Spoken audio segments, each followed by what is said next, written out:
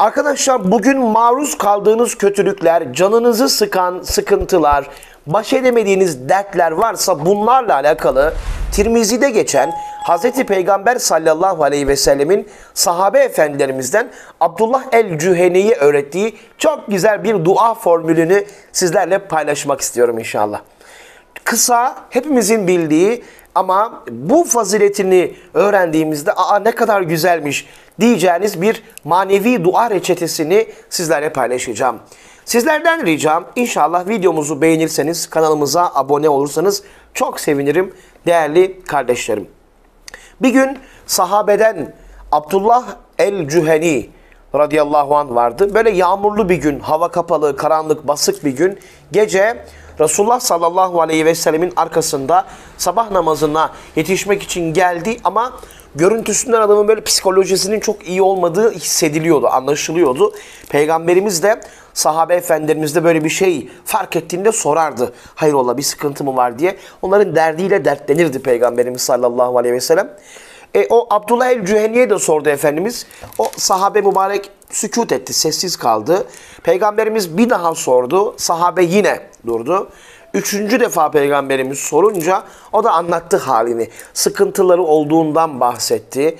Ondan sonra maruz kaldığı bir takım böyle altından kalkamadığı dertleri, problemleri anlattı.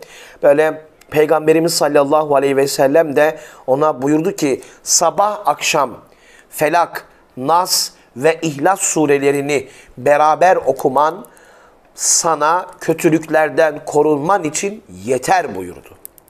Felak ve Nas sureleriyle beraber İhlas suresini okuman sana yeter. Hem sabah hem akşam. Hayatımızda olsun kardeşlerim. İnşallah baş edemediğin sıkıntılar olur bazen. Dünya imtihan dünyasıdır. Bunlar maddi de olur, manevi de olur hocam. Ruhi veya psikolojik de olabilir. Ailevi bir durum da olabilir. Herhangi bir imtihanımız vardır. Allah'a sığınmak isteriz. Doğru mu?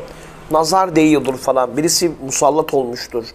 Etrafınızda size düşmanlık yapan insanlar vardır. Her şey olabilir yani. Bütün bu sıkıntılardan Ya Rabbi ben aciz kaldım. Ben baş edemiyorum.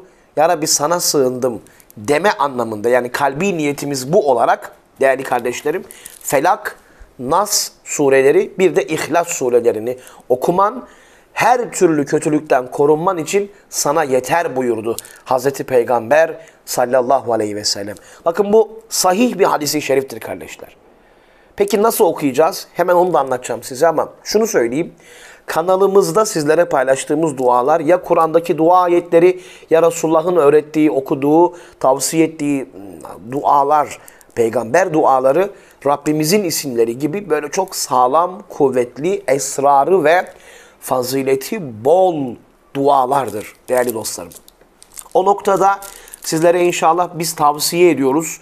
Felak, Nas ve İhlas suresini her gün okumaya gayret edin. Özellikle mesela iki rekatlık namazlar var ya sabah namazının sünneti. Farzı da aynı şekilde. Öğlen namazının son sünneti. Ee, akşam namazının sünneti.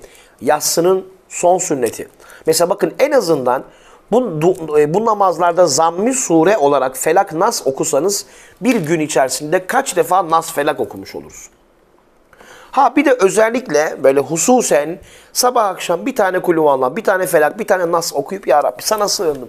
İşim gücüm, her şeyim, çoluğum çocuğum sana emanet desen peygamber müjde verdi aleyhissalatü vesselam. Her türlü kötülükten korunman için sana yeter buyurdu. Allah Resulü aleyhissalatü vesselam Efendimiz. Rabbim bizleri görünür görünmez kazalardan, belalardan muhafaza eylesin. Güç yetiremediğimiz, aklımıza bile gelmeyecek imtihanlardan, bize arız olacak hastalıklardan, dert ve kederlerden sizleri, bizleri, sevdiklerimizi Allah'ın muhafaza eylesin. Amin. Allahu Teala Peygamberimiz Aleyhisselam'ı nelerden koruduysa Rabbim Teala Celle Celaluhu'ya nelerden sığındıysa peygamberimiz biz de onlardan Allah'a sığınıyoruz. Rabbim bizleri de muhafaza eylesin. Ve Sultanlar Sultanı Aleyhisselam Efendimiz allah Teala'dan ne istediyse biz de onları isteriz. Rabbim bize de lütfeylesin inşallah.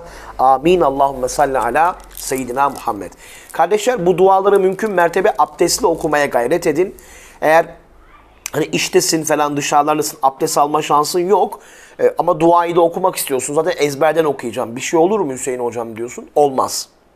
Ama e, eğer müsaitsen Kur'an'dır, Allah kelamıdır. Abdestli okumak güzel olur kardeşlerim. Özel zamanlarındaki hanımefendi kardeşlerim onlar da müsait oldukları zamanlarda okurlar inşallah. Şuraya bir video bırakıyorum kardeşler. Kendinize çok iyi bakın. Bu videoyu da izlemeyi unutmayın. Allah'a emanet olun.